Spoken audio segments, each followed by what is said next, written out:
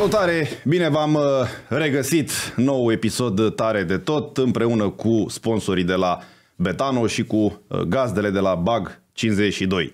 Pentru cei mai fideli dintre voi care ați continuat să urmăriți acest podcast sau ați făcut-o încă de la început, ați văzut că odată la 3-4 episoade avem și nume cunoscute din fotbal. În acest episod, Marele Dănuț Lupu, rebelul fotbalului românesc, poate ultimul romantic. Te salut, Dani. Bună ziua! De ce ai râs? Nu te-am descris bine? Da, nu... Romantic. Da, nu. Și rebel, de ce mai făcut rebel? Rebel pentru toate poveștile pe care ni le-ai spus și care sigur că au fost adevărate. Și ajungem încet, încet. Nu neapărat rebel. Poate defectul meu a fost că am iubit prea mult fotbalul. Și de ce nu calitate? Da, păi, tu mai ai făcut rebel, nu calitate. Cum e? În primul rând vreau să te întreb de, de sănătate, pentru că... Da, în ultimii 9 ani Asta am trecut... Uh, să spun, mi-a trecut glonțul pe la cap așa de două ori. Da. Deocamdată Dumnezeu mă iubește și m-a ținut uh, aici. Ah. Am tras-o puțin. Cum a apărut o gripă, eu am fost primul care l-am luat pe... Da, am, m-a ajutat Dumnezeu și am trecut peste, peste ele. Te referi la ce s-a întâmplat acum cu... Acum 9 ani am avut H1N1 nu, și acum 5 ani am avut, sau 4 ani, tradiționala COVID. Cred că mai, mai aproape de noi, nu chiar acum patru ani. 3 ani, 4 uh-huh. ani, da, nu mai țin. Ăstea care sunt trecătoare le uităm repede. Dar a fost, presupun, cea mai dificilă perioadă din toată existența ta, nu? Da, pot să spun, da, am tras-o cel puțin acum 9 ani, am tras-o mult mai greu decât uh, ceea ce a însemnat COVID-ul. Dar, repet, m-a ajutat Dumnezeu și am trecut peste. Dar acum 9 ani ce a fost? O pneumonie, parcă? O pneumonie... Am fost tot așa la Brașov, țin minte, am jucat niște prieteni, am făcut o miuță, am jucat și după aia am ieșit afară, am făcut un foc de anul de tabără și cred că am ieșit cu părul ud și ăla și cred că am râs, atunci am rățit. N-am dat importanță vreo lună jumate, tot aveam senzație din aia. Mă așezam pe scaun, adormeam. Dacă mergeam, era ok, nu aveam probleme, dar în schimb, și dacă mă trezeam și mă așezam iar pe scaun, iar adormeam. Și în drumul final am căzut lat și a chemat salvarea și m-am dus la spital. Deci în luna asta tu n-ai... Uh, Nu, n-am, am, Pus n-am dat mare, importanță. Da. De obicei nu prea îmi plac spitalele și am fugit toată viața de ele. cui plac? Da, se pare că când nu ai grijă de tine și nu încerci să te menții puțin, Și atunci ai ajuns uh, destul de târziu. Nu da, prea. mai respiram undeva la 40% din amândoi plămâni. Nu mi-a dat șansa aproape nimeni. Da, repet, mulțumim lui Dumnezeu că m-a ținut cu mine. Deci chiar așa de grav a fost? Adică... Da, da, am stat două săptămâni, am stat întubat, legat de mâini și de picioare, fiindcă pe vremea aia fumam și fumam cam mult și intram în cerea organismul tutun. Uh, am stat aproape o lună internat. Și cu un tu pe gât? Nu, am avut o cască din aia specială pusă în cap și respiram prin casca aia. Da, nu te uita, e... Nu, nu, nu, încerc să... Nici nu vreau să-mi aduc aminte, îți dai seama, să stai legat de mâini și de picioare trei săptămâni așa în pat. Mi-au trebuit cinci zile să învăț să merg, când am ieșit din spital. Nu, nu puteam nici să merg. Așa slăbit era. Și chiar așa ți-au uh, spus sau au spus uh, familiei Păi, medicii? Păi, iar, doamnă, nu prea are șanse.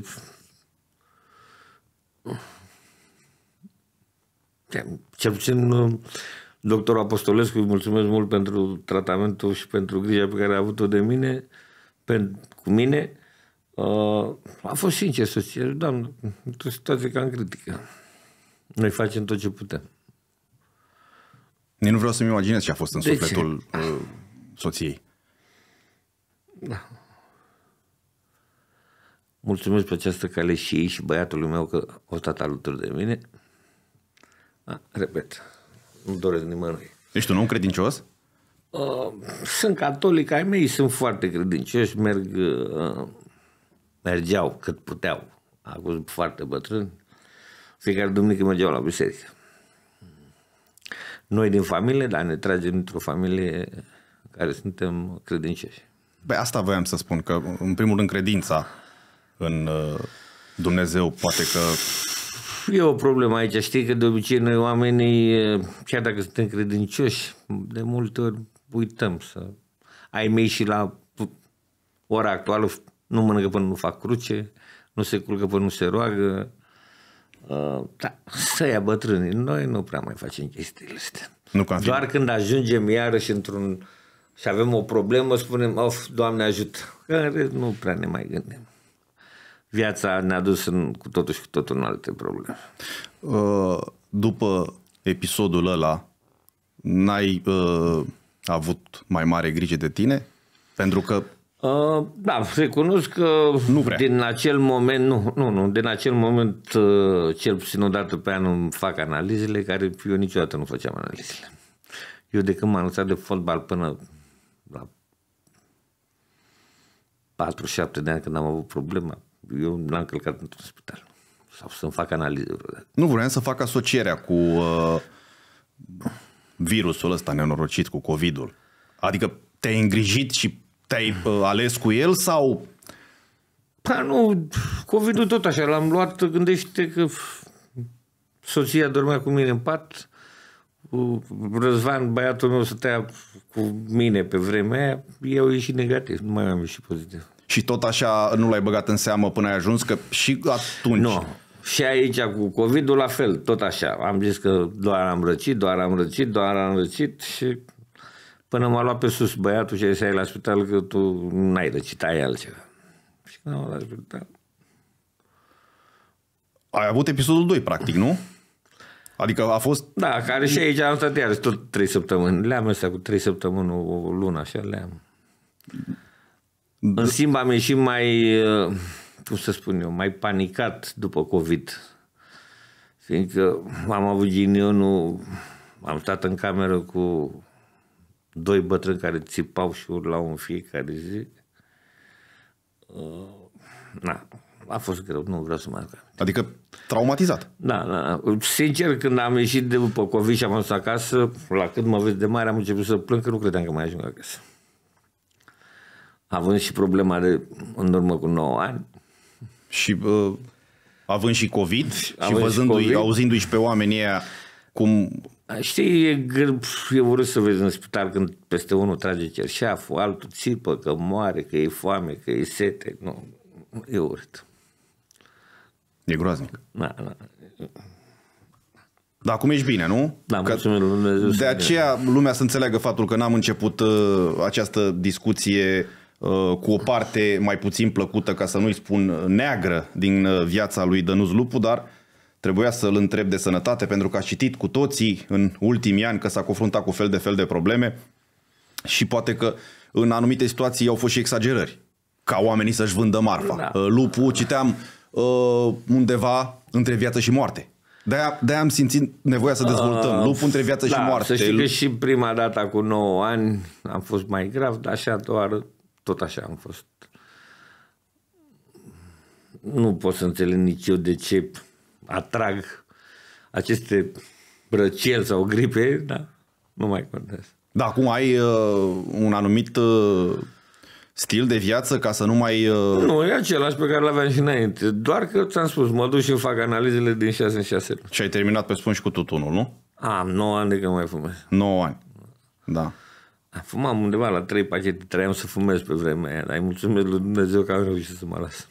Știi ce am vrut să te întreb mereu? Uh, cum uh, ai reușit să la vârsta asta să-ți păstrezi uh, părul ăsta așa rebel. da? Adică tu cu Ilie Năstase, cred că sunteți singurii uh, dintre cei uh, celebri, renumiți, da, nu știu, care foarte... au uh, rămas la fel ca în tinerețe. Dar tot faptul că am trei vârteje Da. și pf, dacă mă dundeam scurt se vedea urât, uh, la vârsta de 17 ani am stat numai cu părul mare. Uh, Țin minte și când am venit la Dinamo, l-am prins tot așa cu niște agrafe. N-a făcut poze atunci de milițieni. L-am prins în agrafe, dar nu, nu m-aș vedea cu părul scurt. Și datorită faptului că am, până când mă va lăsa, Bine, dar te și definește. da, nu, dar nu, nu pot să mă văd cu părul scurt. Am încercat, nu. A, ai încercat. Am încercat, da, nu.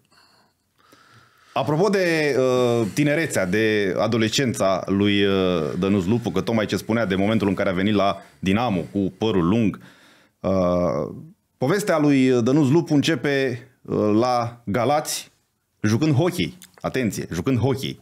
Și hockeyist bun, spune lumea. Da, am avut și șansa la 14 ani să debutez în divizia la Hoiei. Bine, poate și datorită faptului că am avut uh, tot așa un antrenor care ținea foarte mult la mine. Pe vremea aia, dacă rupeai crosa, trebuia să o cumperi. Uh, În schimb, uh, fără să exagerez, cred uh, cam rupeam o crosă pe săptămână. Dar ținea foarte mult antrenorul la mine și niciodată nu Te-a pus să cumperi. m-a pus să cumpăr.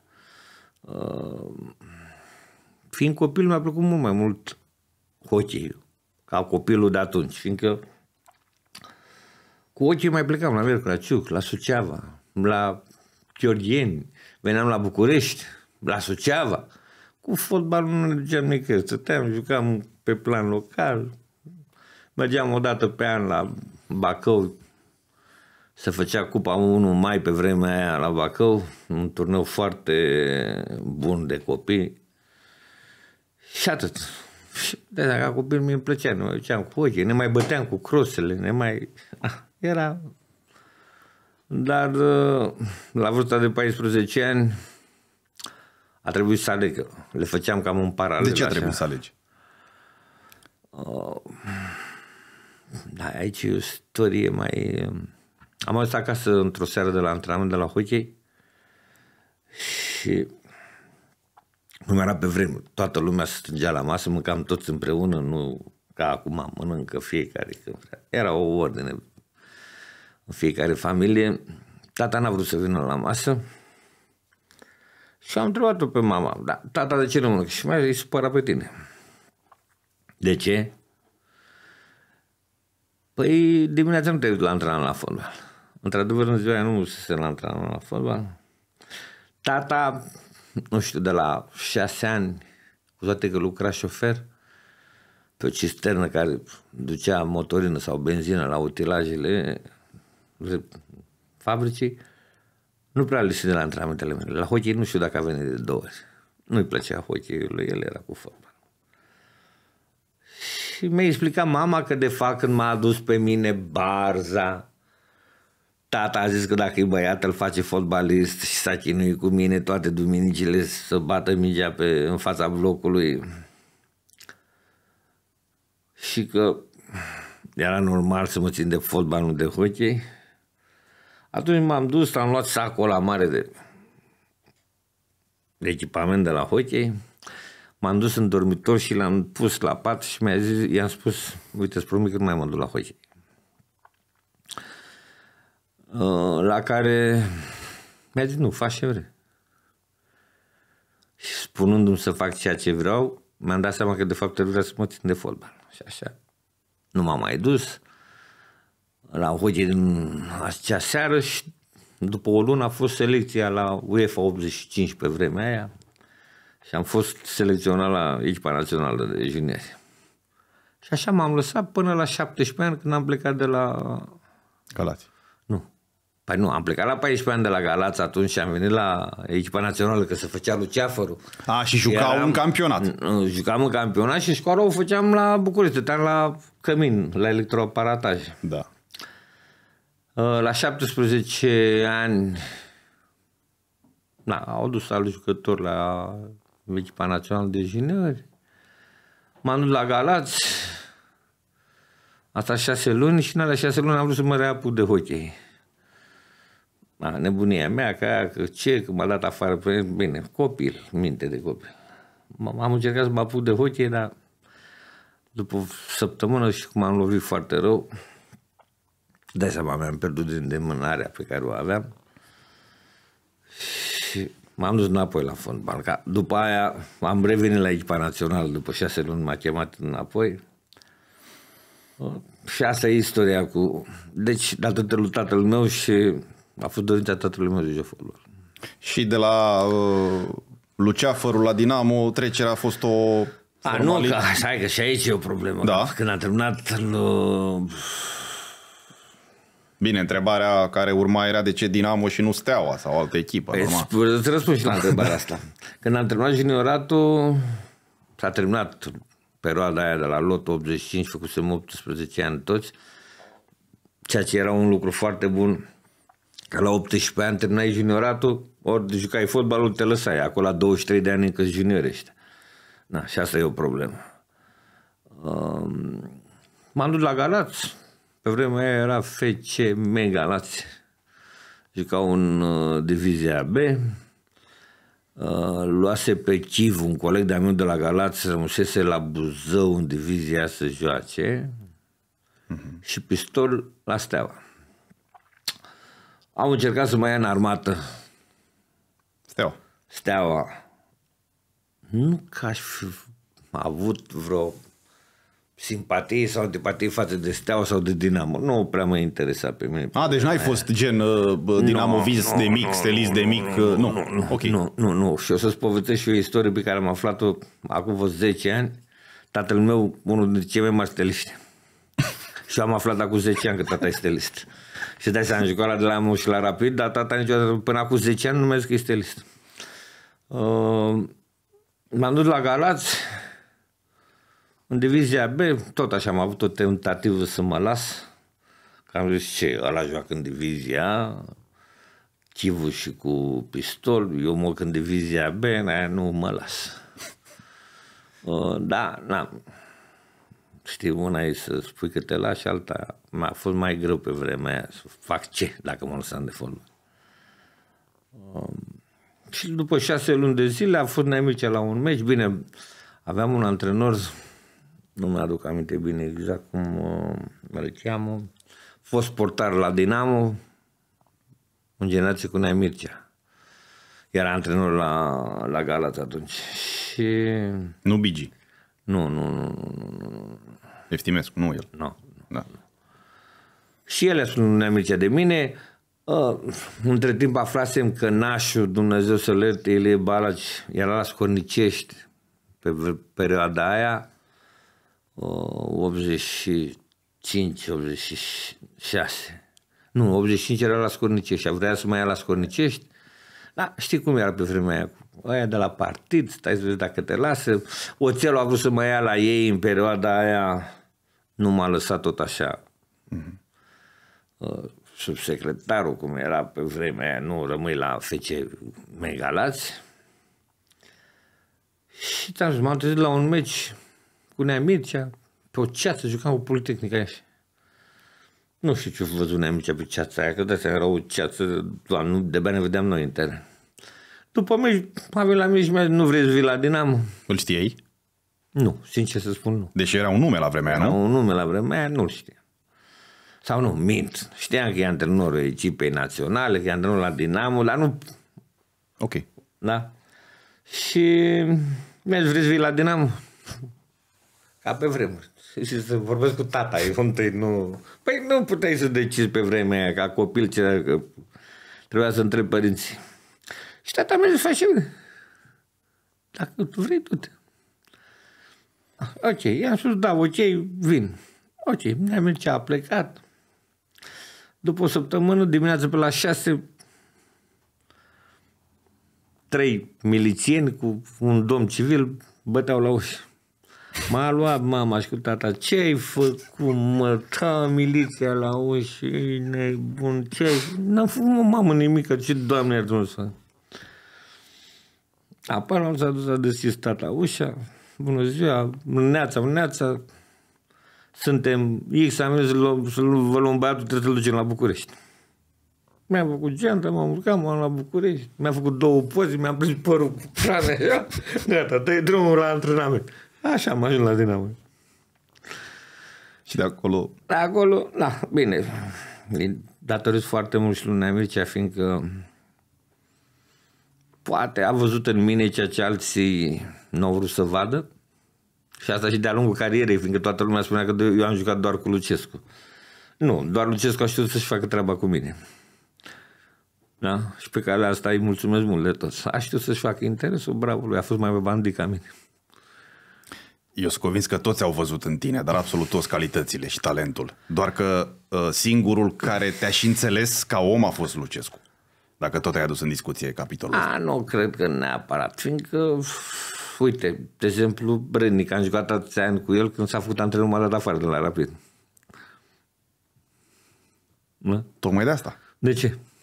Că nu te-a înțeles și uman. Nu a trecut peste anumite fixații, principii, să-ți ofere o libertate și în afara uh, terenului. Dar rămânând, ajungem și la rapid, la, la uh, începutul anilor 90 vorbim, nu? De Dinamo. Da. Eu mereu am trăit cu senzația, uh, atunci în calitate de iubitor copil al fotbalului și apoi ca jurnalist, că tu ai fost printre, hai să zic, primii doi, trei jucători preferați ai lui Mircea Lucescu din toată cariera lui, inclusiv în prezent. Nu știu, te-ai iubit enorm. Știi cum e, bă,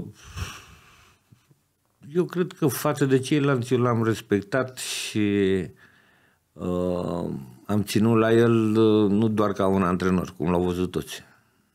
Într-adevăr, de-a lungul vieții mele din 86 încoace, de câte ori am avut o problemă, a fost alături de mine. Și îi mulțumesc și pe această cale.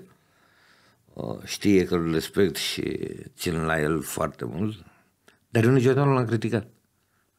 Sunt alții care poate i-a ajutat mai mult decât m-a ajutat pe mine și l-au criticat. Sau poate sunt alții pe care Nea Mircea i-a făcut fotbaliști și totuși l-au criticat. Eu nu l-am criticat niciodată. Poate și față de mine a greșit de multe ori. Dar nu mi-am permis. Dar pe tine nu te-a făcut fotbalist. Pe tine te-a pus în valoare. Pot să spun că aveam mai multe calități decât aveau uh, alții pe care i-ai ajutat. Jucai într-un picior.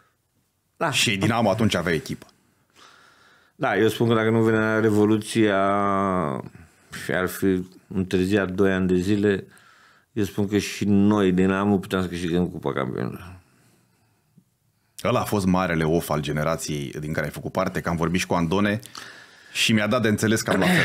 Ăla a fost marele of al generației voastre? Nu, să știi că marele of al nostru uh, a fost că, iarăși de moș numai de bine, domnul Ianul a distrus acea echipă, fiindcă puțină lume știe, înainte de a pleca la campionatul mondial din 90, Neamicea ne-a strâns în vestiar și a avut o discuție cu noi și ne-a spus așa, băieți, uite, și eu am ofertă și pot să plec, dar nu vreau să plec. Haideți să mai rămânem un an de zile, da?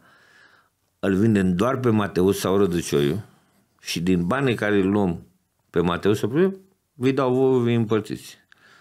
Noi toți am fost de acord. Toți. Nu mai... Ianul nu. Ianul nu. Și anul după aia a făcut totuși totul altceva. Nu sunt ghițea cu neamice, nu s-au prea iubit ei doi așa.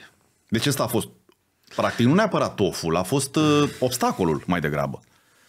Nu obstacol, ți-am spus, nu, a fost uh, nebunia banilor pe care eu, iar și eu, o spun și la tine acum, eu cred că echipa din 90 a fost mult mai bună ca cea din 94. Dar nebunia aia cu banii, cu valizele de bani care se plimbau prin cantonamente, nu prea ne interesa așa mult pe majoritatea de noi să jucăm și fotbal. Fiecare se gândea la viitorul lui. Tu vorbești de echipa națională Din din 90, 90, mai bună decât cea din 94. De acolo, așa, da. Eu cred că a fost mult mai bună ca cel de 94. Și am fi putut avea mult mai mari rezultate dacă nu era nebunia asta cu transferul. Care vă luase așa mințile. Că vedeați bani peste toată tot și veneau oportunități. aia cu valizele prin cantonament, vii impresar peste impresar, discuții peste discuții. Băi, Ne mai gândeam noi la fotbal? A, ne mai. Și cu toate astea am făcut un uh, turneu final în Italia unicel. Da, Dacă am cotit-o spre Copa del Mondo. Da, da, da, poate să știi că uh, Italia și-a dorit enorm de mult să se califice Irlanda, să nu ne calificăm noi, fiindcă le era foarte frică de noi. Asta au și spus-o, că ei doresc să se califice Irlanda, nu România. Da, dar s-a decis la penaltiuri. Adică mi-e greu să cred, dacă nu chiar imposibil, că s-a înscenat ceva. A, la nu, Doamne penaltiuri. ferește. Nu, adică, Adică- nu. Dar ți-am spus, ei și înainte de meci au declarat că vor să califice Irlanda, nu România. Nu știau. Că, până la urmă, urmei, puteam să și câștigăm cum, de fapt, l-am și pierdut uh, acel meci. Apropo de echipa națională, că discuția cu Dănuț Lupu inevitabil te conduce în fel de fel de direcții și nu știi uh, pe care drum să o, uh, să o apuci și îți dorești foarte mult să le lămurești pe toate. S-a spus uh, vis-a-vis de echipa națională că ai fi putut să joci mult mai mult acolo dacă nu era Hagi.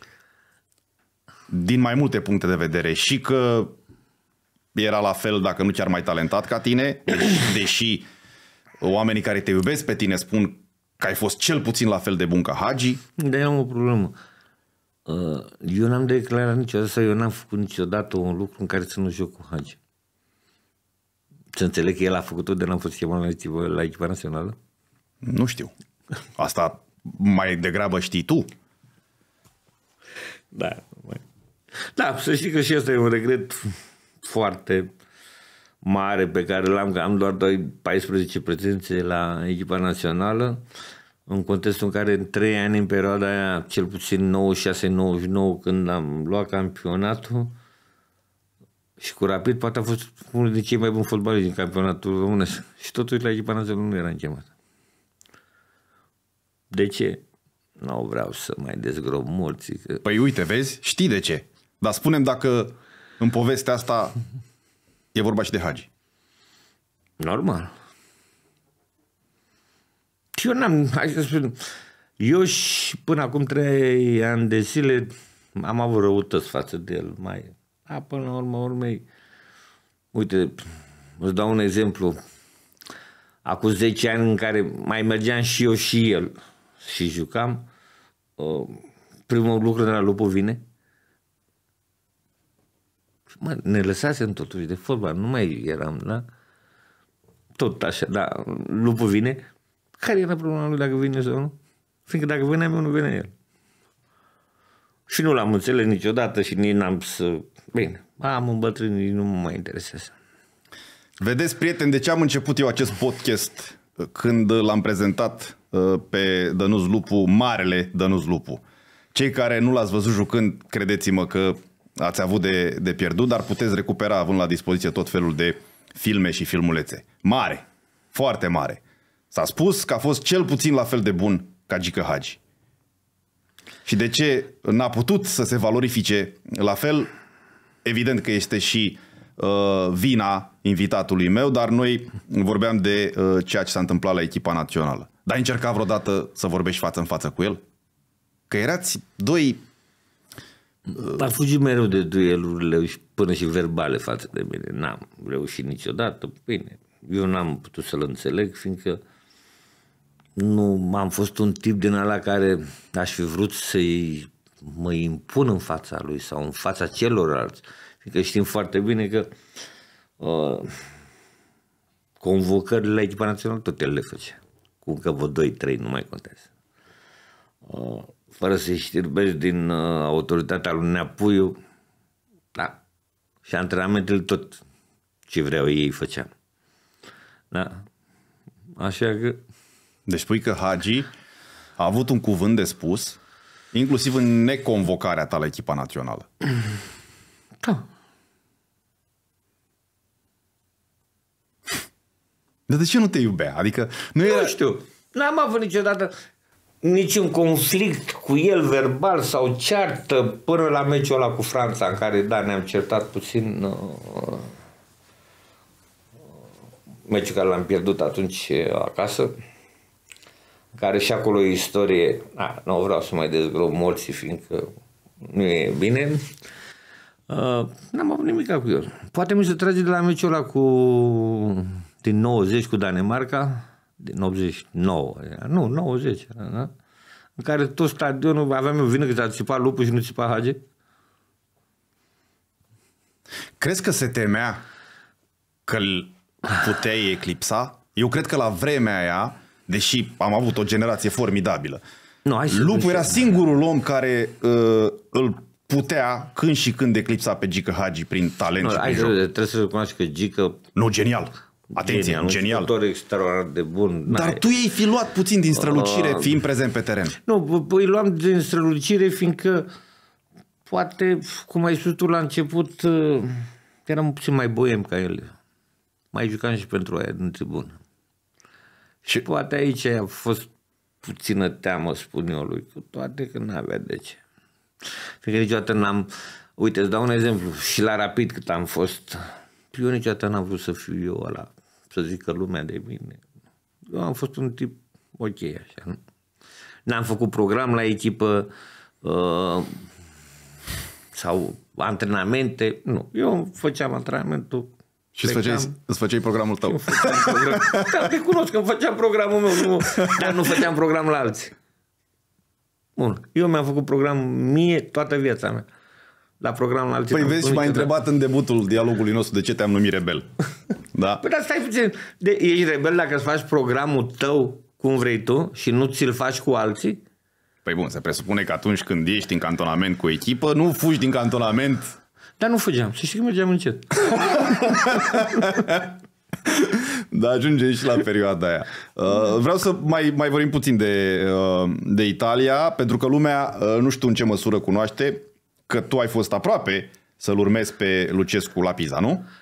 A, nu. Să știi că eu am fost singurul jucător care era cel mai liniștit la campionatul mondial. Că aveam un precontract cu Pisa. Cum avea și Nemes. Dar iar și am avut ghinionul în care domnul Ianul luase 800 de mii de dolari de la Panathinaikos și trebuia să mă duc la Panathinaikos. Eu am fost cu soția mea la el acasă, l-am rugat frumos și a zis nici dacă îi taie cineva mâinile de la coate, el nu mă lasă să mă duc la Pisa.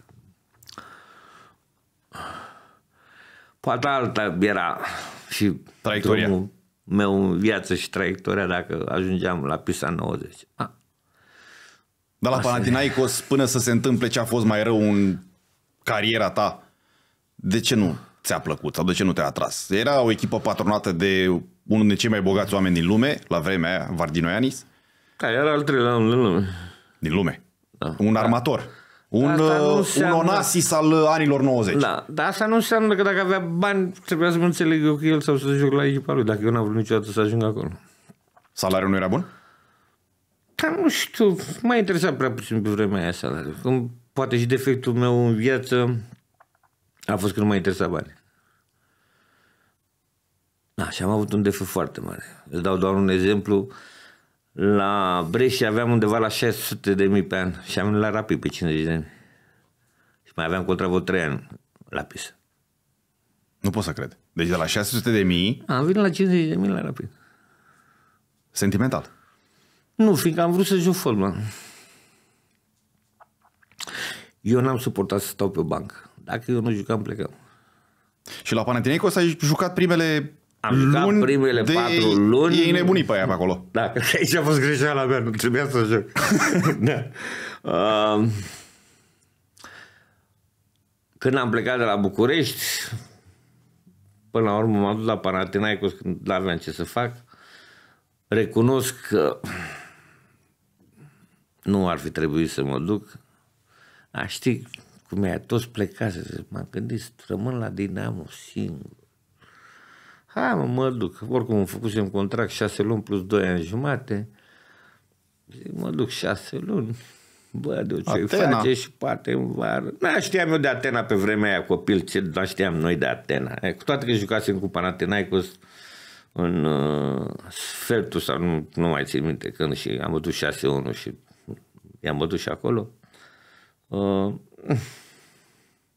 eu eram nebunit cu Italia, am interesat pe mine Grecia. Uh, M-am dus, am jucat. Bine, fotbalul era de nivel foarte scăzut în Grecia pe vremea aia. Mă făceam că trebuia la poartă să dau capul ca de trei. da. Și am avut și acolo ghinionul de am dat uh, de un Hagi 2 Saravacos. Mare fotbalist ăla. Cel, da, cum spun grecii, Așa. unul din cei mai mari fotbaliști ai Greciei. Da, iarăși, ce treabă aveam eu? Ce ți-a făcut? Că și ăla aceeași problemă. De ce nu mai țipa stadionul Saravago, țipa lupul. Păi eram eu de vină că țipa băia din tribună lupul. Da.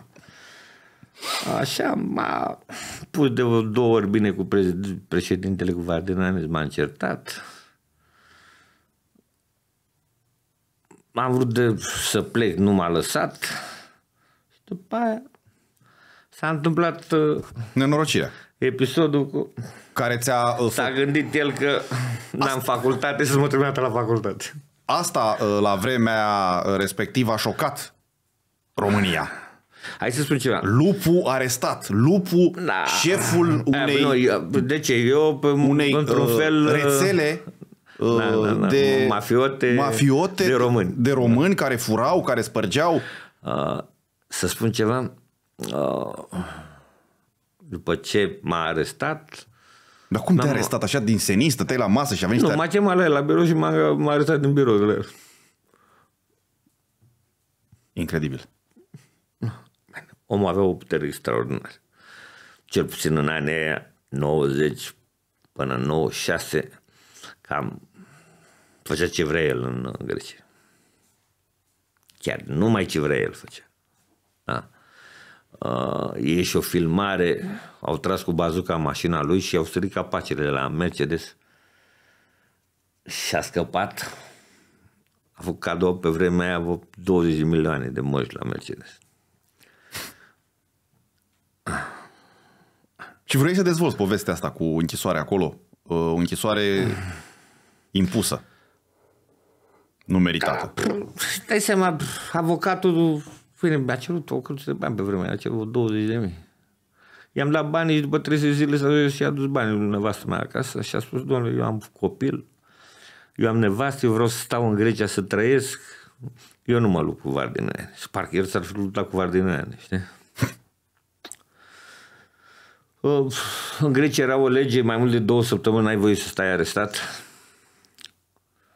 Ori te condamnă, ori îți dă drumul. Asta vreo lună jumate. Cu infractorii acolo în celulă sau ai avut totuși un tratament? Nu, doamne ferește, ar însemna să mint. Nu. Coboram chiar peste stradă și mă duceam și îmi luam țigări.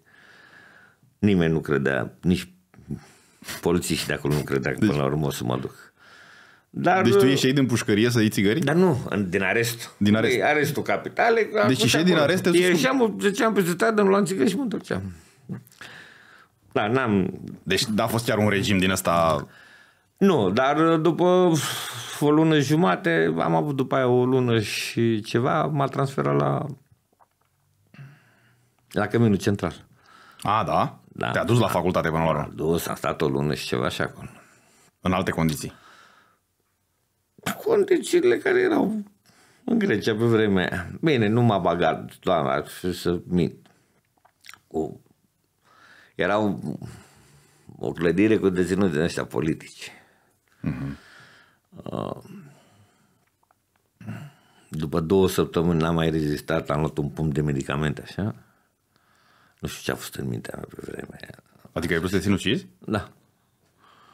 Păi, Păi ce? dacă nu era totuși un regim din ăsta... Păi nu era, de dar tortură. stai puțin și ce trebuia să stau acolo că a vrut el? Că eu am fost până la urmă urmei ori ce ar spune lumea de mine. Eu am fost arestat datorită faptului că am dat în el. Și când am vrut să mai ajung la Părănăreacus. Deci ai dat în el, nu? Da. Altă istorie. care Pumn, mă- palmă. Am luat un pumn.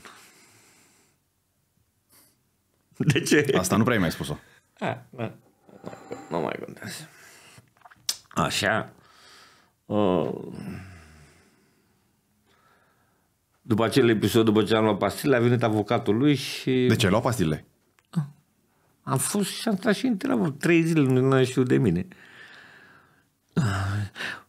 Hai să spun, uh, eu de-a lungul vieții mele, dacă am fost vinovat, uh, tac din gură și văd de de glezne. treaba mea. Da. Uh, Poate ăsta a fost și defectul meu, dar în schimb dacă știu că sunt nevinovat, nu poți, poți să ai tu bani de pe lume. Dacă eu văd ceașca asta albă, eu nici nu o să spun că e roșie că vrei tu. Ăsta a fost defectul meu. Și e în continuare. Și după ce ai luat pastilele și a ajuns, a ajuns aproape de... Am fost dus la spital, nu știu nimic, trei zile n-am știut de mine nimic. A venit avocatul lui Vardeanu și mi-a spus semnează hârtia asta și Ieși. ieși. N-am vrut să o semnez.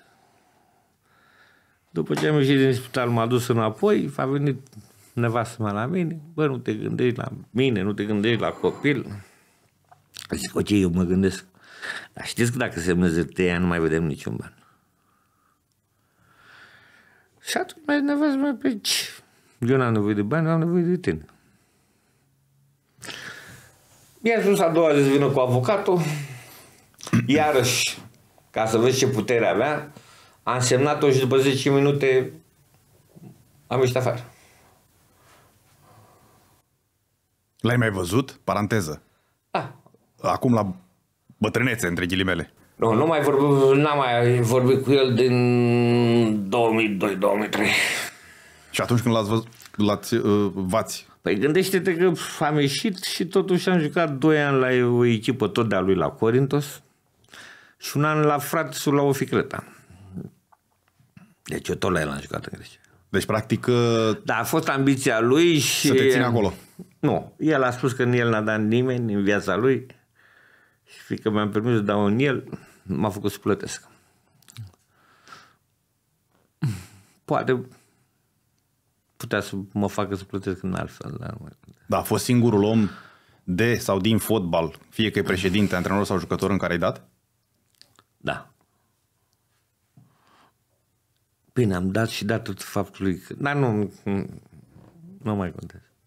Dai seama că n-am dat degeaba în el. Păi ai spus așa ce era de spus, că te-a ținut cu forța acolo și să umpluse paharul. Nu că neapărat că m-a ținut cu forța. El mi-a spus că de ce eu nu vreau să mai joc la Panathinaikos. Am încercat să-i explic frumos că eu n-am vrut niciodată să vin la Panathinaikos și am venit doar datorită faptului că nu aveam ce să mai fac. Și el mi-a zis că chiar dacă am contractul șase luni cu doi ani jumate, nu o să mă lase să plec. Nu, te întrebasem când v-ați văzut acum. Că ai spus că în 2000... când- Doi m-am văzut ultima dată cu el. Și, și, A, nimic, am rămas în o relație foarte bună. Eu după aia gândește că mă vedeam cum am văzut cu el, am jucat trei ani la echipele tot al lui. a, deci practic n-au fost uh, resentimente. Nu, și dacă nu mă înșel, în 2006 a fost singurul interviu care l-a dat la un ziarist român și primul la întreb, lucru l-a întrebat ce fac eu. Da, bine, poate a fost un tip mai ambițios și mai încăpățânat și cu puteri mai mari ca mine. Da, el așa ca uh, președinte, ca patron te-a iubit, te-a plăcut ca fotbalist. E enorm de mult. Enorm de mult. Eu când m-am dus la el, uh, când am ajuns în Grecia, el nu avea doar un inel pe dege și spunea că eu sunt diamantul ăla de pe inel și dacă o să-l ascult, uh, o să fiu e pentru mine foarte bine. Dar eu copil, rebel, bine, aveam, uh, nu mai țin minte cât aveam pe lună pe vremea aia. El nu-mi dădea decât 5.000 și restul spunea că mi investește el în rafinării la el. Da, eu copil îmi trebuie mie rafinăriile lui. Du-te mă, mi dăm bani, mă, las mă bani. Nu că ți ajunge atâția bani, că nu știu ce. Bine, nebunii dacă în Omone acolo erau numai românce la baruri și la alea. Uh, Până m-am mutat, am stat vreo două luni la un hotel la el în centru, acolo la în Omonia.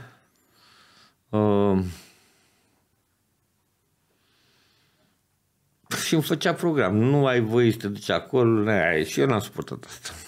Zic, mă, eu joc? Da. Ce te de ce fac eu? Deci, practic, vrea să dețină controlul... Da, i-a plăcut să aibă controlul Total. la tot ceea ce face și tot ceea ce însemna. Doar în privința ta sau așa era el? Nu, așa era. Erau niște doi polonezi, Varzeca și Vanțic, care jucau cu mine. Vargiha, da, da. A, care jucau Cristof cu Vargica, mine, da. Jucau cu mine la Panathinaikos.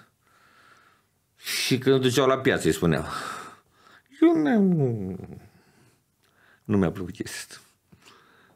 Eu programul îl fac eu cum vreau. Crezi că momentul ăla a cântărit foarte, foarte mult în cariera ta? De aceea nu te-ai mai uh, exprimat, chiar dacă ai jucat la un nivel destul de înalt, dar poate că alta ar fi fost... Uh, Nu, nu e episodul ăla. nu? Dar care?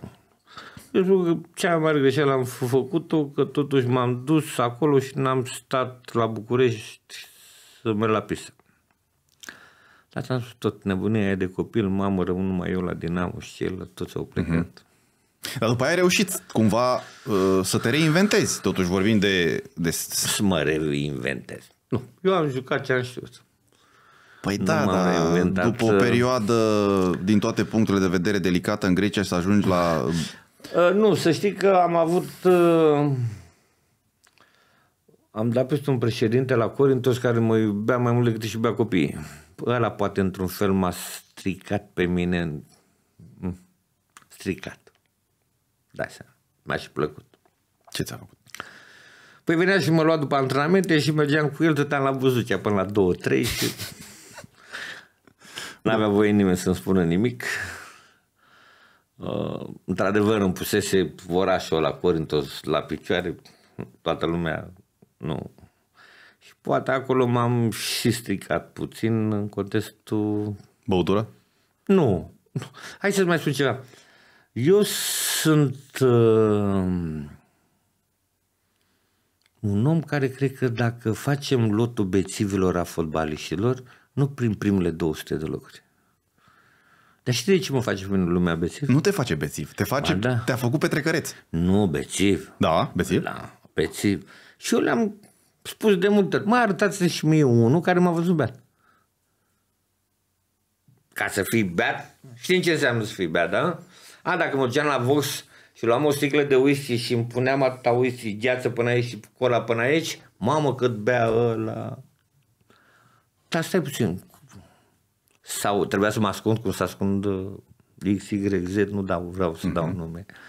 Nu, eu mă duceam la Vox mascheră. Mă, mă respectam. Trebuia să mă duc la gară să mă ascund, să mă îmbăt într-o dugheană. Poate și aici nu le-a convenit lucrul ăsta.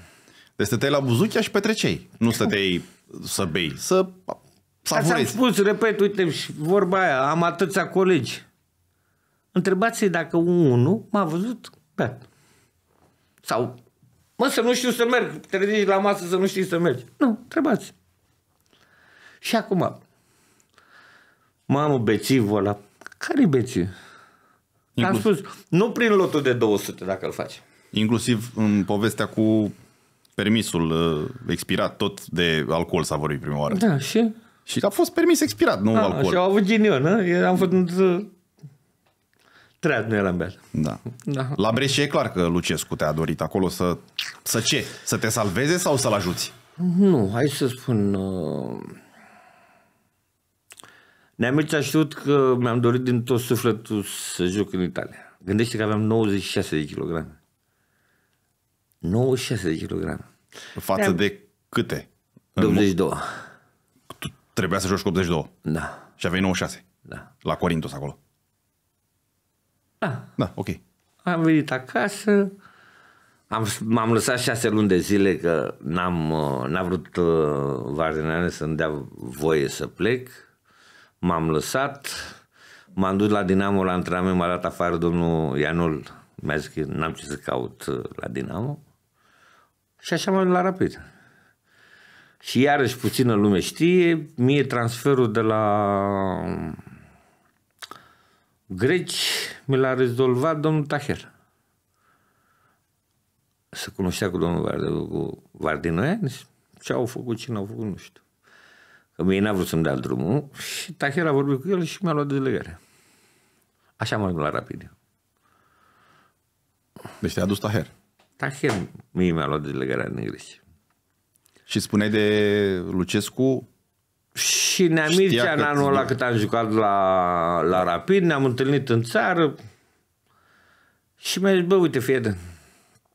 Ei retrogradaseră. Mhm. Nu, promovaseră. ba retrogradau, ba promova. A, nu, promovaseră în anul când m-am dus eu la ei, că am jucat în seria în seria eu. Uh, mi-a zis, uite, te iau, depinde de tine. Dacă te pregătești și joci. Eu n-am nimic împotriva. Hagi mai era? Nu. Hagi a plecat chiar atunci când m-am dus și eu, plecaseră la Real Madrid. Am și făcut amicalul ăla Nu, nu, la Barcelona plecase. la, la Barcelona, așa că am făcut și amicalul ăla, Barcelona, Brescia. Te mai duceai dacă era Hagi? Da. Și spun repede, n-am nimic. Mie nu mi-a fost frică de concurență. Da, lui a fost? Păi nu știu dacă a fost frică de concurență sau nu. Poate am fost și un timp mai... Uh, nu știu. Și acum în anumite cercuri când ajung eu vorbesc mai puțin alte. Nu știu de ce. Lider. Dar n-am vrut să fiu neapărat un lider. Eu nu m-am pus niciodată ca lider. Uh, și m-am dus, când am intrat prima dată în vestiar la primul antrenament, La Brescia, nu? la Brescia, țin minte că i-a spus aia jucători au început să râde și i-a zis, băi, n-ai merge să-i lua bodyguard.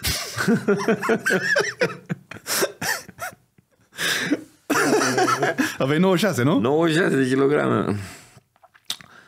După Corioni ce a zis? o lună, a, nu, Coriolan nu vezi nimic. nu. Mi-a zis, aia, bă, dovedești, vrei, rămâi, rămâi, nu te întorci înapoi. După o lună aveam 81 de kilograme. După o lună? Da. Nu i-a venit niciodată lumea mică să credă. Am vrut. Și ai început să joci. Am început să joc. În timp, iar soarta n-a fost de, de partea mea. L-a dat pe Nemercea afară. Uh, nu că aș fi jucat cât asta Nea Mircea. Stai așa, să înțelegem. Nu eram titular incontestabil la Ah, deci- aia.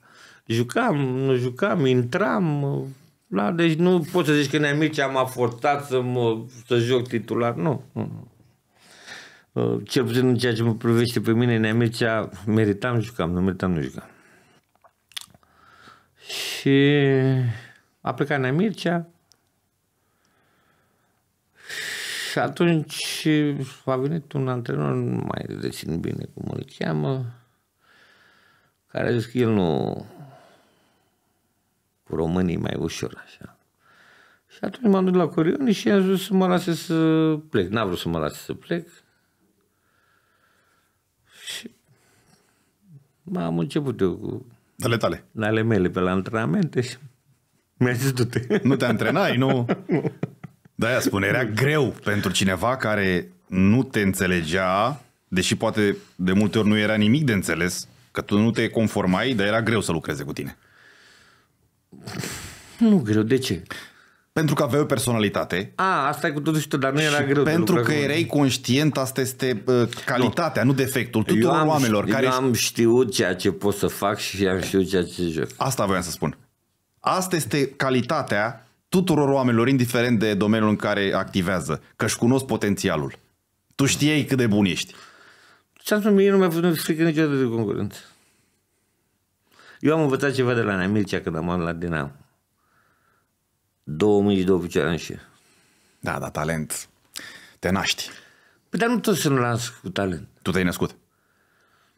Aici, da, poate ai dreptate, fiindcă până la urmă, urmă și dacă mă duceam la basket, zice că am jucat basket toată viața mea. Sau, Și hockey. Sau tenis de masă, sau tenis de câmp, sau hockey. Da, în ceea ce privește sporturile, Nu, dar la tine driblingul ăla se vedea că e nativ.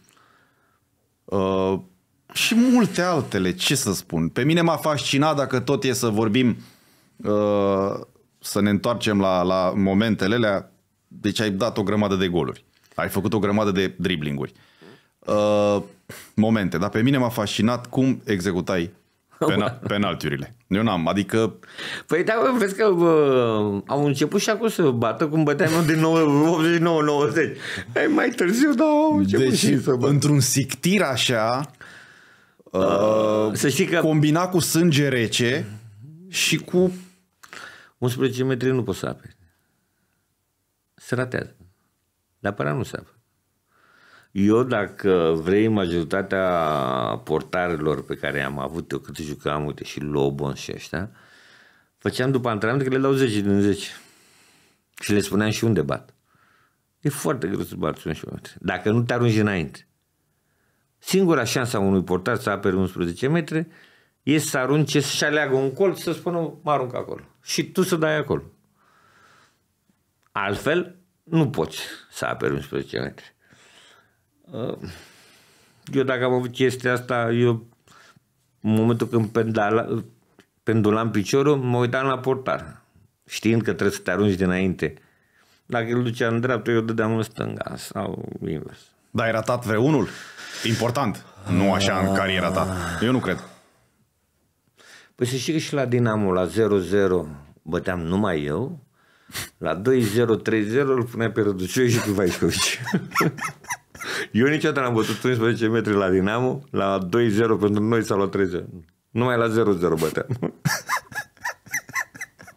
Și la Rapid la fel. și la Rapid la fel, da, nu. Dar la Rapid nu ți-a trebuit mult să te faci, uh, nu să te impui, asta nu-mi Hai făceam. să, pe perioada Rapidului pentru mine mi-a venit ca o mănușă, fiindcă trebuie să recunosc că cum am fost iubit la Rapid, n-am fost iubit la nicio echipă. Dar poate și dată faptul că jucam pentru ei multe momente din joc. Cum ai, ră- ai resimțit dragostea asta? Prin ce? Eu am spus-o, sunt mulți rapidiști care să dau rapidiști și în ziua de astăzi. Da. Să-mi arate și mie unul care țipa tot stadionul numele ca să iasă de la vestiar. E și ei ultimul. Totdeauna. Era o plăcere pentru mine să-i să aud tot stadionul la țipă, lupă, lupă, lupă, lupă. Și adevărat că la anumite meciuri, când uh, ai tăi colegi erau pe culoarul ce ducea către teren, tu erai în uh, baie fumai? Păi mă încărcam bateriile. da, dar uite, vrei să spun ceva? Uh, N-am Mircea știa. Dar era o chestie care eu mă mobilizam. Mă duceam la toaletă și spun sincer, mă duceam la toaletă să și vorbeam cu nevastă. La telefon. Era o nebunie de-a mea care o făceam înainte de fiecare meci. Bine, să vorbești cu soția, nu știu dacă e o nebunie. Poate îți găseai E, motivație. e nebunie înainte de meci să sun nevasta de pe toaletă, e o nebunie. Dar mă duceam, fumam jumătate de țigară, beam trei guri din cafea Stadionul plin, afară. și după aia ieșeam și... Și de frumos să te ții pe tot stadionul să ieși. E frumos. Deci, practic, erai artistul care uh, lipsea de pe scenă. Că și ceilalți colegi ai tăi, unii dintre ei foarte buni. Ce, Era Neluțu. Era o echipă foarte bună. Rednic. Am avut și în Chiriță. perioada aia la, la Rapid. Da, eu eram la Cireașa de pe tort. Da, eram... Făceam lumea să se simtă bine că vine la stadion. Cu ce ai rămas de la Rapid? În afară de dragostea oamenilor. Ca momente, zic. Da, nu pot să spun că am... uh, A fost a doua mea echipă, fiindcă vreau, nu vreau, asta e, am fost dinamovist, sunt dinamovist și am să mor dinamovist. Să-ți mai spun un episod uh, drăguț, la toate meciurile Rapid Dinamo, eu n-am vrut să joc niciodată împotriva lui Dinamo.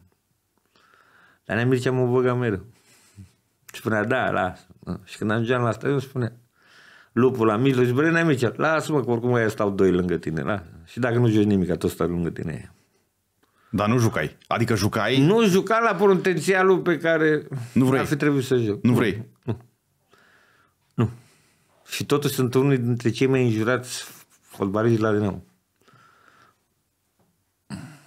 Bine, știi cum spunea același Lucescu. Recunoștință e cea mai grea povară. Da, nu știu, poate și datorită faptului că încă trăim într-o lume în care adevărul doare și eu dacă nu știu să mint. Eu nu pot să mă fac plăcut să spun că, ți-am spus, să spun că vrei tu că ceașca e roșie. Deci ca echipă Dinamo, sentimental, ca uh, suporteri și atmosferă rapid. Rapid, pe departe, da. Da, și cum e? Uh, Când ai două mame, pe prima nu poți să o uiți, chiar dacă e rea, ea, chiar dacă e, tot prima mamă rămâne. Dar și rapidul a fost o mamă... Ascultă-mă, eu ți-am spus, m-am, m-au iubit mai mult și m-au respectat mai mult de 102 față de Dinamo. Da. Și aici la rapid o grămadă de povești, cu fugit din cantonament, cu Hizo, Ți-am nu? spus, nu fugeam, mergeam încet. Dar l-anunțai pe Hizo că pleci? Da. Sau plecai pur și simplu? Nu, la anunțau alții care mă urmăreau. Dar nu producea uh, o astfel de acțiune a ta revoltă în vestiar? Domnule, ăla de ce poate Nu, și... Neamicea le-a spus în- la un moment dat plecați și voi. Dar jucați că cum joacă el bine. Tu ai scos vorba aia, că cine e om noaptea să fie și ziua, nu? Nu, păi nu. Bine, eram tânăr pe vremea aia, dacă dormeam două ore, zice că am dormit două zile. Da? Dar unde te duceai? La Vox? Da, nu mă feream. Știa unde mă găsește. Erai uh, o atracție pentru uh, tinerele din București la vremea aia? Erai bărbat înalt. Da, da, Părul ăsta așa Acum, are. Vrei să spun care e iarăși o chestie culmea? Sunt singurul, cred că am rămas singurul însurat din toată generația aia mea. Ca aia, Golan, cum am fost, eu, negolan. Sunt cam singurul care am rămas însurat. Restul la a doua, la a treia. Eu sunt cu aceeași. Cred că și Ando. Refer la generația mea, am doi mult mai, mai Ah. bătrân ca mine. Da, e posibil. Dacă îi luăm pe rând așa, Nu, spun eu 100%. Și totuși am rămas însurat. dar la vremea aia nu erai căsătorit cu Mihaela. Ba da, eu sunt căsătorit în 88. Eu am băiat de 35 de ani. Să-ți trăiască. Mă, să- Înseamnă că secretul căsniciei voastre a fost mereu că te-a înțeles. Da, și în afara faptului că m-a înțeles, a știut ce vrea. Pe tine. Da, a iubit și mă iubește rodul. Cum ai cunoscut-o? Dacă tot ai... A, la Galați. Într-o stație de autobuz pe vremea aia n-aveam nici bicicletă. La Galați. Mă întorsese de la... Jucam la FCM, la aia de vizabe. Și ea venea sau se ducea? Se ducea la școală. Ți-a plăcut din prima? Păi dacă m-am luat de ea, îți dai seama. Și n-ai mai lăsat-o.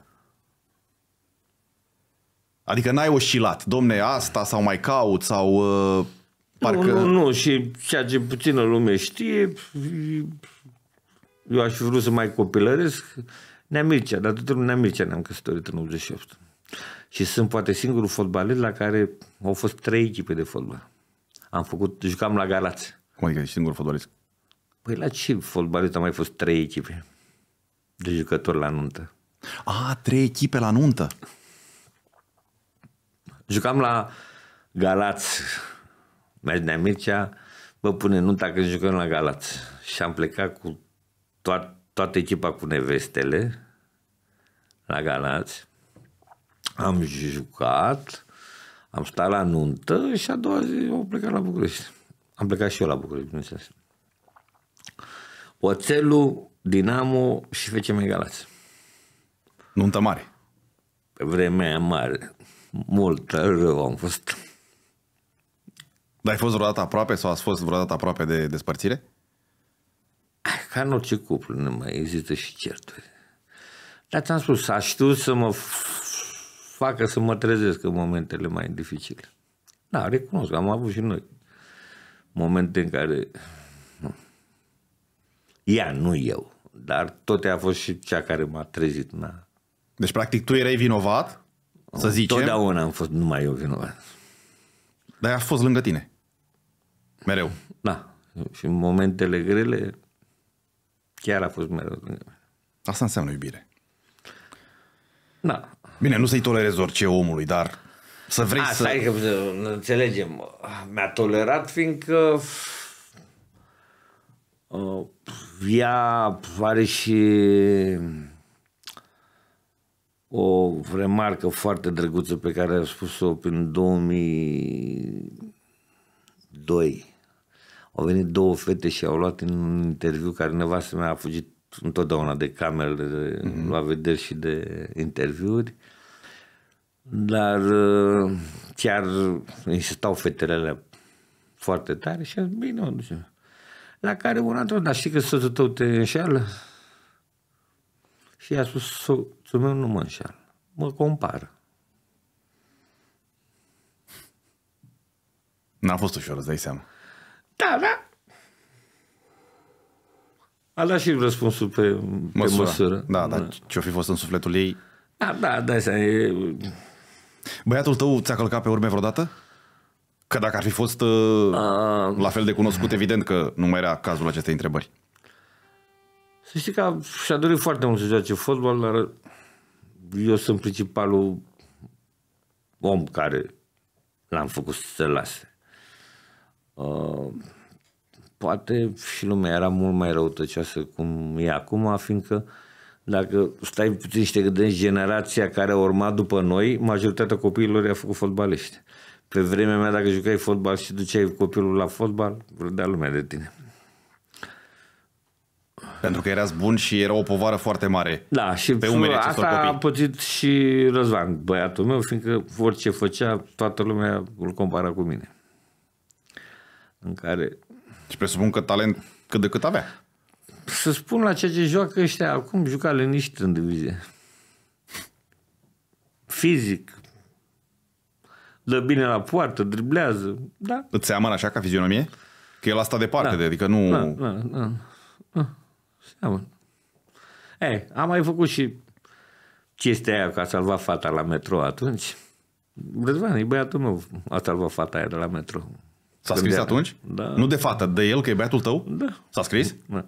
Fuge, niciodată nu i-a convenit să spună că e băiatul lui Dănuț O să povestesc cu un episod cu el chiar în oraș cu niște băieți de oraș, s-au luat la ceartă și unul chiar a scos un cuțit.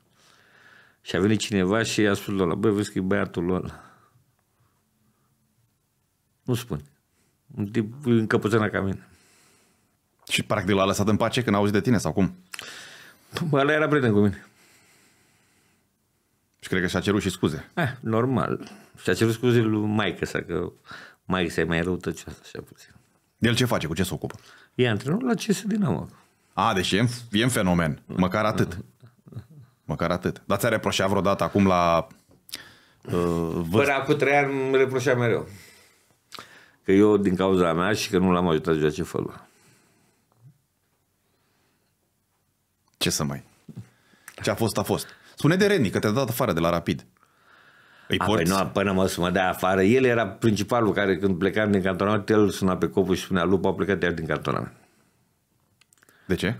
Da, i-a plăcut lui strâmbu el și doamne Da, avea ceva cu tine, doar nu cu tine? Nu neapărat cu mine, da, așa a fost Mircea de, de când îl știu, din 86. Și Nea Mircea ne spune, dacă vreți să știm, să știu ce ați făcut, luați-l pe rând cu voi.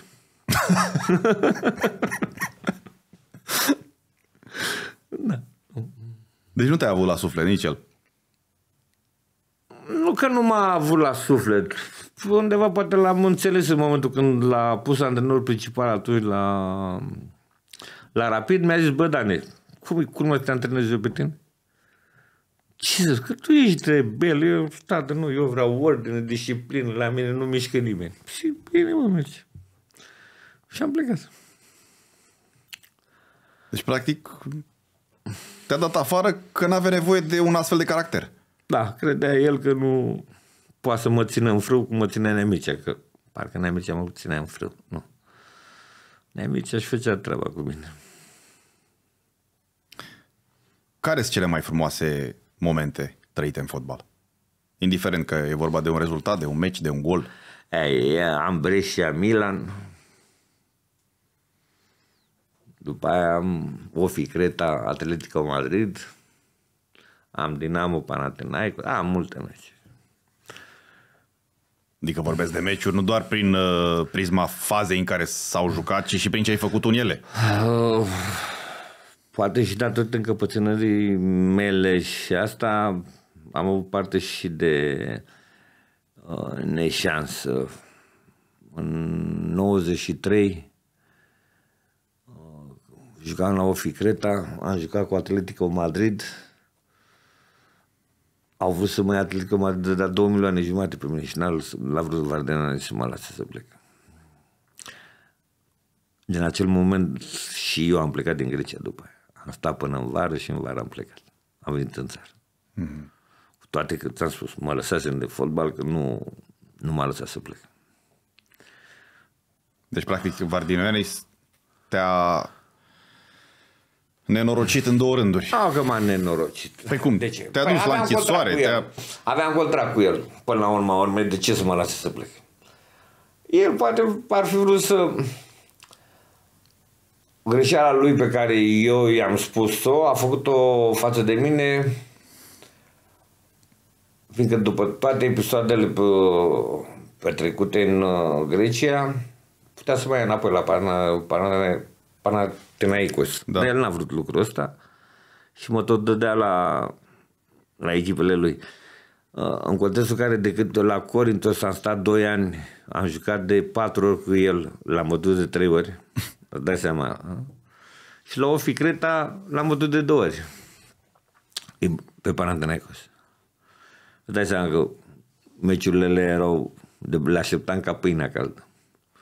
Și totuși toată lumea îi spunea să mă ia înapoi, n-a vrut să mă ia înapoi. Da, atunci dacă semnai la Atletico în 93, nu? Da. Probabil că erau șanse mari să joci în uh, America. Iarăși aveam uh, cursul vieții se schimba în totalitate, da.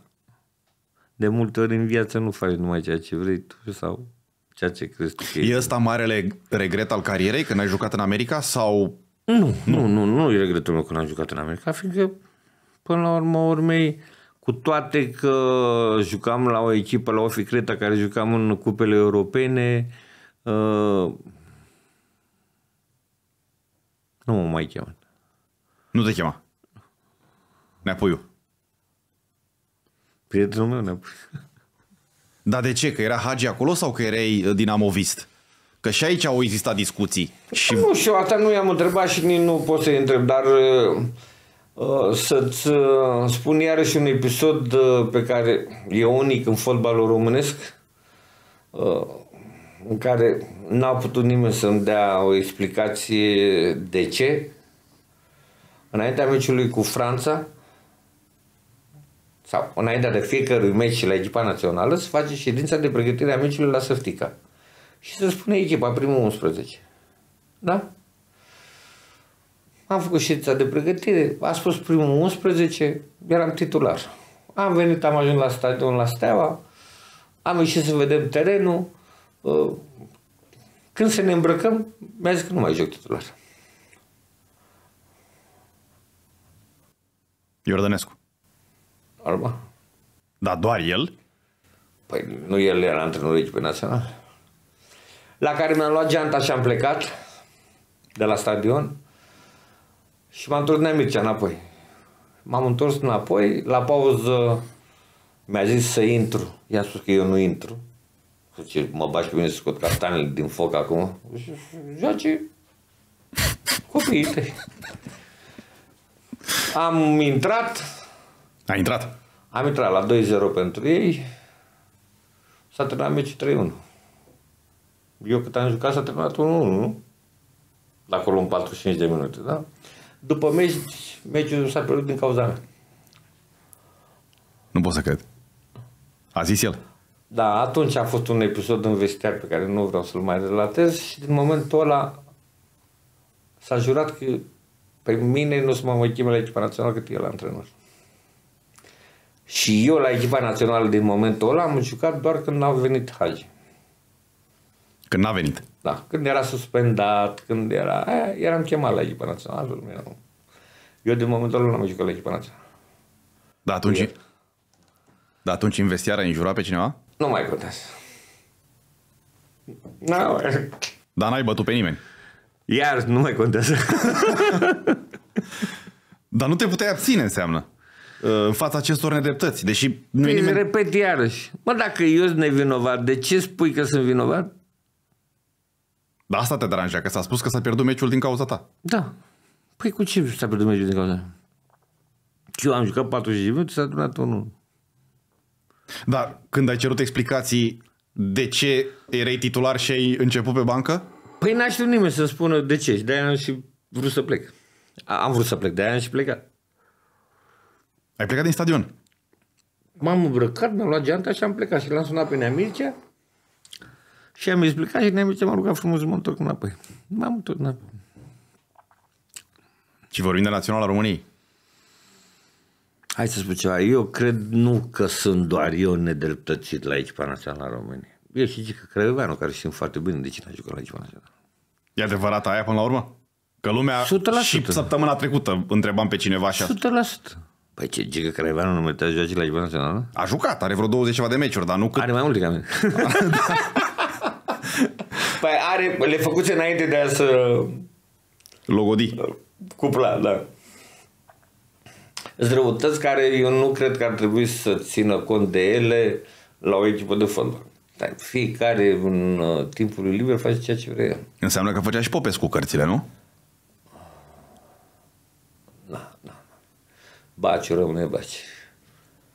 Erau 3-4 ingi. Făcea și el cărțile, nu? Normal.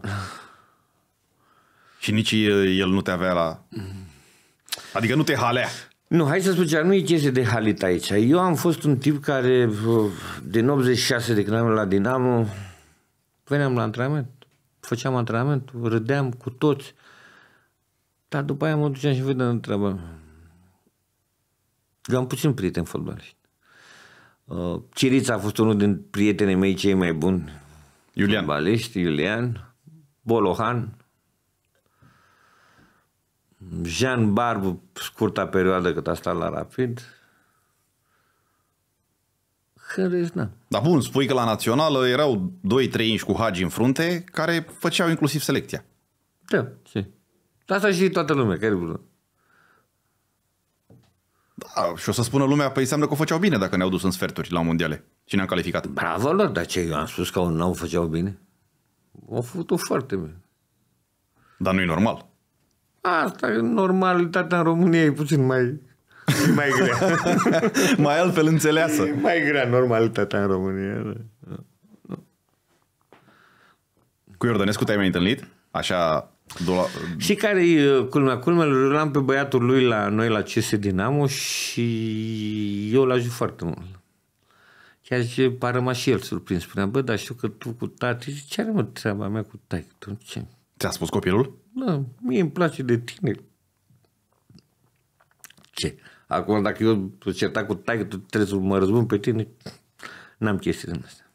spune dar la Iordănescu exista și uh, în plan mental și se uh, poate răzbuna pe tine, deși poate e dur termenul, o rivalitate cu Lucescu? Hai să spun ceva. bă. Să mă ierte neapuiul, da? La ce echipă avea și tata dacă îl puneam antrenor juca. Era antrenor. 94. Eu, În 94. 90 și 94, da. Cam, Păi 90 n-a fost el antrenor. Și 94, da. Ce? Și 90 n-a... bă, bă, Emi ce crezi că făcea? Ce făcea? 5 contra 2 și restul face și vreți voi. Hai, fim serios. ce doamne iartă. Deci tu spui că în 94 oricine ar fi fost antrenor mergeam în sferturi? Păi la 5 jucători avea echipa națională în 94, ți-am spus, și pe tine te puneam antrenor și tot rezultatele le aveam. Ce doamne. Lumea o să creadă că spui asta din frustrare. Nu. De ce? Că n-ai jucat, că n-ai fost acolo. Dar repet, nici nu meritam să fiu selecționat în 94. Nici nu... Niciodată n-am spus că oful meu e că n-am jucat în 94. Oful meu e că n-am fost selecționat în 98. În 94 nici n-am avut niciodată pretenția asta. În 98 unde tu erai la Rapid campion, nu? Da. Și nu te-a chemat la mondial. Ți-am spus, eu la echipa națională am mai jucat doar în meciurile care nu au fost hagi. Un Hagi cu care nici acum nu ești în relații. Ba da, eu chiar și am, îl laud mereu la ceea ce face la afară. Na. Eu nu am fost un tip răutăcios. Nu, deci, aia a considerat el că e bine să facă, ok. A, că mai critic și când aia, când greșește, da. Dacă îmi face lucruri bune, eu mereu l-am lăudat. Spuneai că în topul bețivilor din fotbal nu ești în primele 200 de locuri. Na, nu-l prind. Uh, dar în topul fotbaliștilor, dacă ar fi să te lauzi puțin? Nu m-am lăudat niciodată și eu m-am considerat prieten cu fotbaliști. nu râd. Pe și care erau ei adevărați? Niciodată nu m-am considerat uh, poate de multe ori lumea spune, bă, mai talentat, mai... Nu. Eu întotdeauna m-am considerat prieten cu fotbaliști. Ai spus despre Balaci că și într-un picior era mai, era mai bun ca noi. Ca toți. Eu cred că dacă nașul n-avea ghinionul să și rupă piciorul atunci genunchii, uh, ar fi fost mult mai bun ca Hagi. Fiindcă în plus de ceea ce avea Hagi, n-aș avea răutate pe care Hagi nu avea. Pe n-aș nu-l driblai. Se mânca gâtul dacă îl driblai. Gică fața defensivă niciodată nu făcea. Și singurul meu off pe care am spus-o lumii și o spun mereu, Hagi a fost unul dintre cei mai mari fotbaliști români care a avut România, dar n-a jucat decât la Galatasaray și la echipa națională. Mă rest n-a jucat. Păi și de ce e off? Păi o fi că lumea spune că n-am dreptate. A, Să spun, a fost unul de cei mai mari fotbaliști români. Dar în afară de echipa națională și Galatasaray, Hagi n-a jucat. La Madrid așa și așa, la Barça, sau n-a jucat, ca număr de meciuri sau ca realizări? Ca număr de Care- meciuri la Real, eu știu că a jucat. Eu, Stai puțin, una e să faci parte dintr-un lot și alta e să joci. Păi putem să-l comparăm pe Hagi de la echipa națională cu Hagi de la Real Madrid sau Hagi de la Barcelona? Nu. Dar la echipa națională și la Galata. Galatasaray jucau 10 pentru el. E mai ușor să joci. E greu să tragi 10 după tine. Dacă să joci 10 pentru tine, e mai ușor. Deci, practic, el n-a fost un jucător care să uh, dea pentru echipă, E Foarte e mult. Părerea mea. aștepta Nu- să dea echipa. Nu, l-a ajutat foarte mult echipa. Hagi trebuie să recunoaște, a avut niște execuții extraordinare.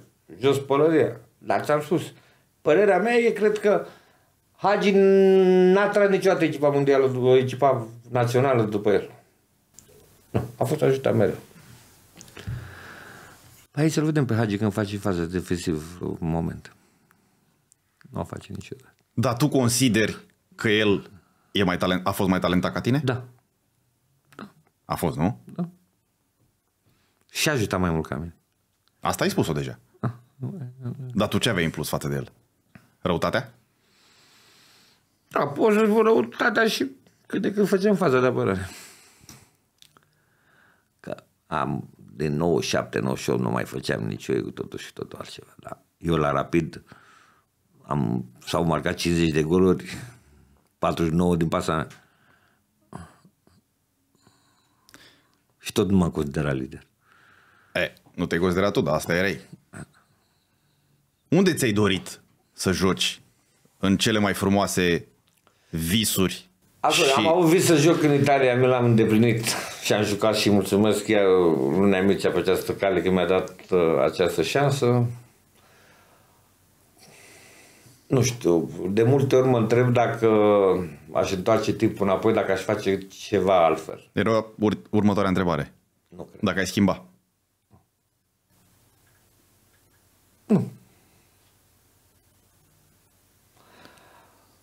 Poate v-aș schimba că nu m-aș mai duce în Grecia și aș fi rămas în țară. Și în rest nimic. N-aș schimba nimic. Doar chestia asta aș schimba. Nu m-aș mai fi dus în Grecia. Ești omul care a jucat în primul rând cu sufletul și apoi cu mintea. Mintea însemnând uh, să fii mai uh, concentrat pe contracte. Nu mă Uh, interesa niciodată. asta spun. Nu mă interesa. Ai jucat pentru suporteri. Și pentru tine Nu, bă, am Pentru jucat plăcerea ta. Pentru mine și pentru plăcerea mea de a juca fotbal. și implicit se uh, duce discuția sau orizontul către oameni. De-aia te-ai... Știi, eu am o vorbă, te, la teatru te duci să vezi o piesă și dacă îți place te mai duci să o vezi odată. Așa e și la fotbal. Dacă lumea vine la stadion și are ce să vadă, mai vine și la al doilea meci. Dacă nu are ce să vadă, de ce să mai vină? Ce spune lumea când te... Eu cred că de aia și în ziua de azi lumea, nu mai e lumea care era odată la stadion. Ce spune lumea când te vede pe stradă? Același lucru că poate că eram serios, era mai bun ca alții. Și eu am spus că oamenii serios fac prostie. Eu n-am făcut prostie. Oamenii serioși fac prostii? Nu, eh, glumesc. Dar cea mai mare prostie pe care ai făcut-o?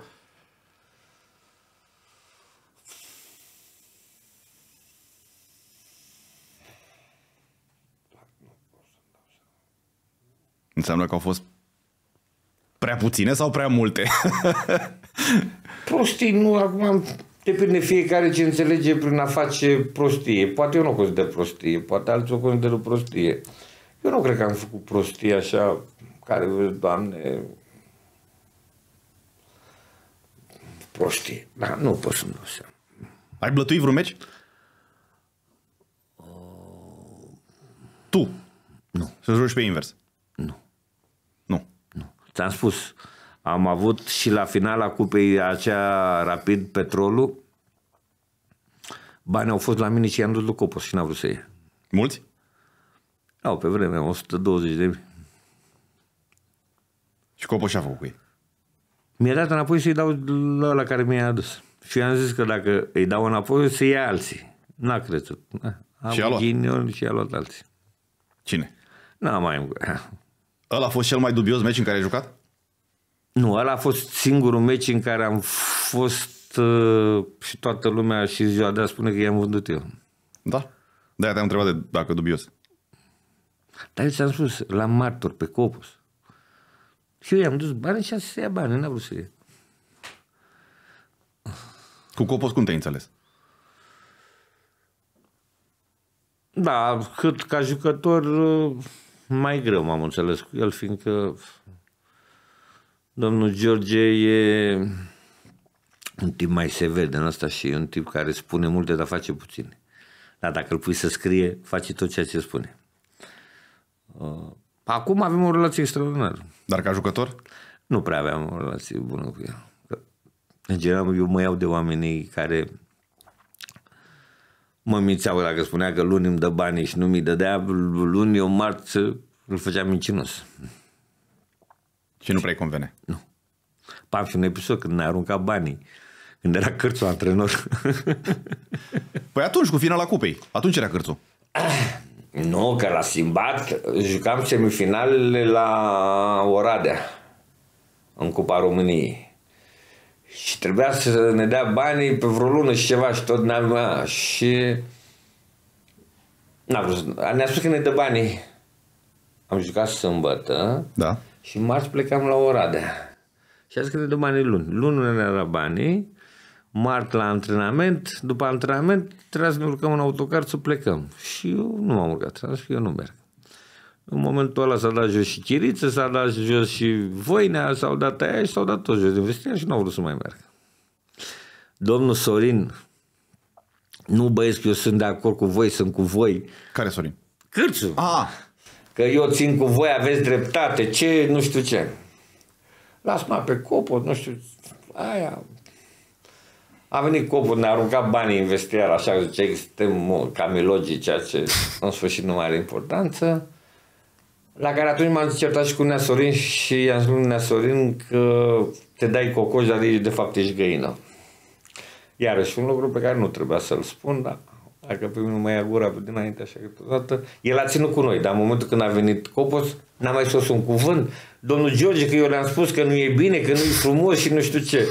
Și eu atunci am zis, bă, Nea Sorine, te-ai dat cocoș, de ești găină. Așa. Și... Păi în final nici n-am mai fost el antrenor. Până la final l-a schimbat. Nu a fost Nea Sorin antrenor în finala aia. cu, ra- cu petrolul? Da. Dar cine a fost? Eu așa știu. Nu, nu mai era. Eu mi-am cam că nu mai era, că l-a dus pe Hizdo înapoi. La final. Cine știe? Eu așa mi-aduc aminte, nu știu, poate, el nu știu, dar nu, din câte mi-aduc aminte, nu, îl schimbase, l adusese înapoi pe Hiz. Spune-mi acum pe final, cum l-ai descrie în trei cuvinte pe fotbalistul de Năzlup?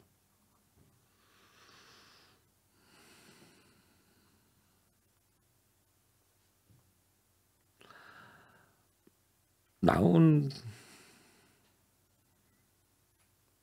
Nebun frumos? Nu neapărat nebun.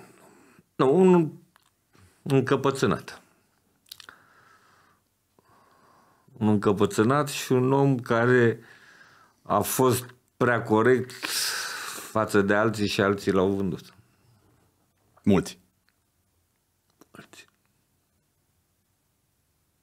Dar nu-mi pare rău. Te-au trădat. Eu sunt adept atât timp cât te ajut și nu cer nimic. În momentul când îți spun doar să te dai la o parte și nu te dai, și din potrivă ești împotriva mea, ce înseamnă? Înseamnă că am ajuns la final. Uh, și cu uh, siguranță ne vom revedea cu Dănuț Lupu într-un alt episod tare de tot, pentru că poveștile, să știți că nu sunt uh, toate. Nu, că ne trebuie o săptămână. Ne trebuie vreo săptămână. Dar nu încheiem până nu facem alături de sponsorii noștri de la Betano, pariul emisiunii, un pariu atipic. Deci nu are legătură cu vreun meci în care ai jucat, nu se putea face pe un meci care s-a consumat, care se va juca. Ce pariu facem? Din fotbal. Uite, hai să facem un pariu, n-am vorbit nimic de prezent.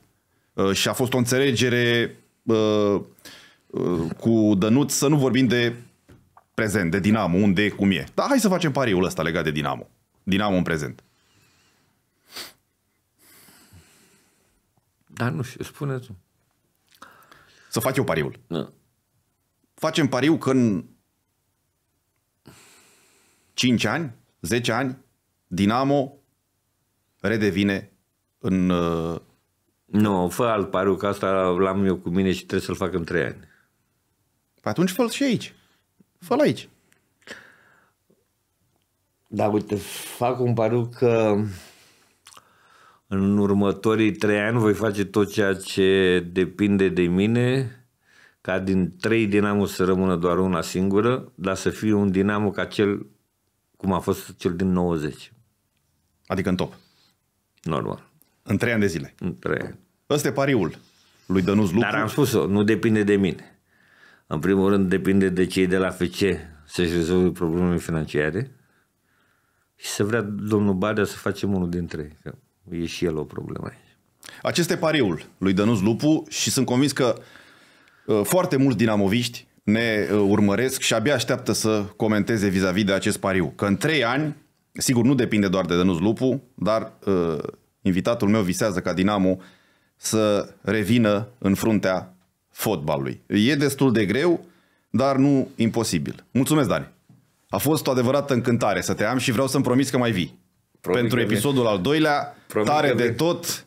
Mulțumim gazdelor de la BAG 52, sponsorilor de la Betano și, nu în ultimul rând, dumneavoastră care continuați să apreciați acest produs uh, prin faptul că uh, ne urmăriți, vă abonați în număr din ce în ce mai mare, comentați, ne criticați, Uh, ne lăudați, toate asta ne ajută să creștem cu bine pe săptămâna viitoare.